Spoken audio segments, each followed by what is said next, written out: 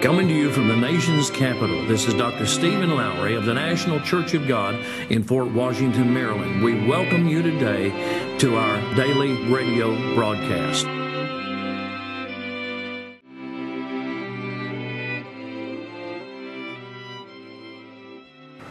Hello, I'm Stephen Lowery, and I welcome you today to the online voice of the National Church of God and our world ministries. God bless you. It's a pleasure to have you here.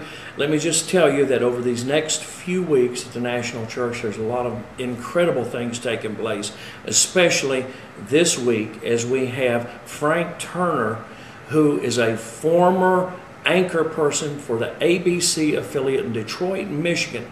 He, he had reached a pinnacle of his career, and yet because of drugs and alcohol and, and sexual vice, his life was destroyed, his career broken, his family was lost.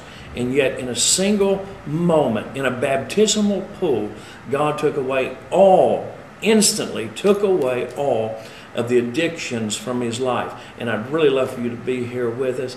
God bless you. You can call the church for uh, further information 301 567 9500. I want you to bow with me in prayer. Father, we just take this moment to stop and pause and put into your hands all of those things that we need straightened out in our lives. God, we can't do it all by ourselves.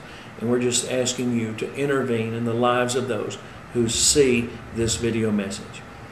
Father, we praise you, we give you honor, and it's in Christ's name. Amen. Hey, listen, just tune back in uh, every week or so, and we'd just love to have you visit with us again God bless you. Give us a call, 301 567 9500.